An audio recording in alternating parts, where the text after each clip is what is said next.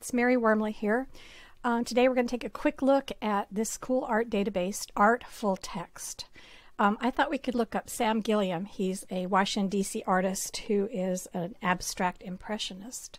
So let's put his name in and see what happens. Oh gosh, lots of stuff. This Let's try this. Okay, 209 um, possibilities. Terry Gilliam, Leah Gilliam. Nope, not who we want. So let's do advanced search. Let's see what it gives us. Um, usually you'll get like a series of boxes where you could put Gilliam, in the next box you could put and artist or um, and Washington or something, and not Terry. In this case, we're going to use commas on the advanced search. Let's see what comes up. Ah, 93 articles. Okay, so now we want to go to our limiters.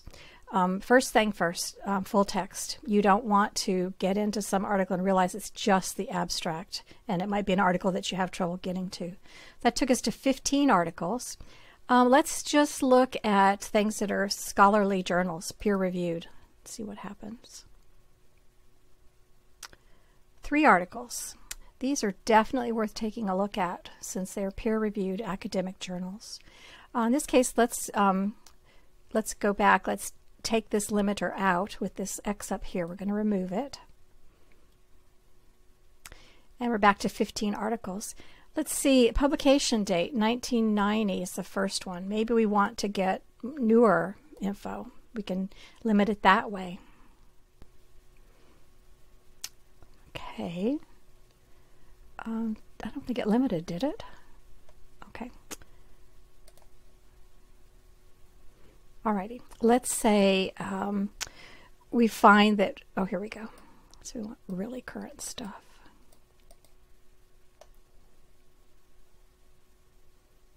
Six articles, if we take, if we limit it that way. So let's not limit it that way. Okay. All right. Um, so say we're looking in here and we realize that um, this International Review of African American Art has is a really um, good resource that your teacher approves and you want to just look at that, you can go down here to publication and choose just those two articles to look at. Um, so let's see, looking through here, let's take a look at this Art in America uh, article where, about his use of color because he's part of that American Color Field School. Okay, here's the article.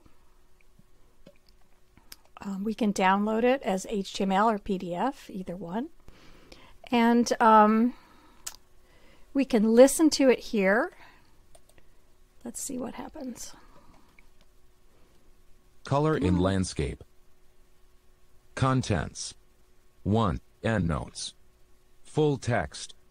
Though lately pegged as a rediscovery, abstract painter Sam Gilliam has been working successfully for decades. So you can listen to that. And here's another cool thing you can translate it to several languages. This is fabulous. Um, okay, so this is an article you definitely want to look at. Um, here's some interesting tools over here on the side. Um, here, citation. This is great. You can click this and it'll give you, let's say, suggested citations. I mean, if, say, you're using MLA.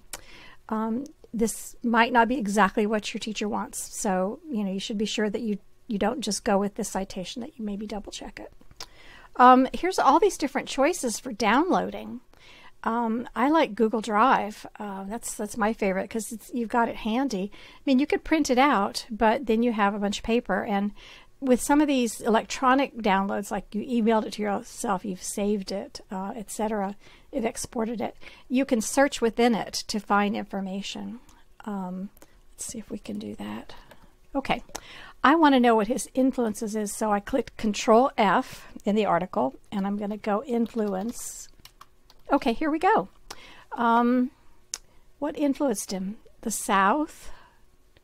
Um, it looks like the colors of spring, azaleas. So there's that great detail uh, that you quickly found with Control F. Okay, so let's save this to Google Drive. We've clicked it, it's downloading. Hopefully. Oops, I have to tell it which one.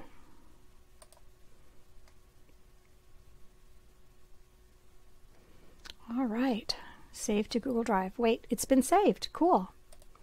Let's check it out here. Isn't it shown up? Let's refresh.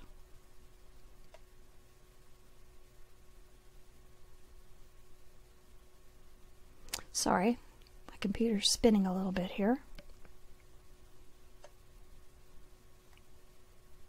Come on. I'm sorry. Ah, color and landscape. There it is. So I can refer back to it at any point while I'm working on this project. So um, that's a quick look at this database. It's an EBSCO product and that's pretty short, but you know, if you have any trouble with this, please talk to your teacher, talk to Mr. Hibbert, talk to me, and we'll help you, um, you know, navigate all of this and search tools, limiters, all of that. So best of luck, guys.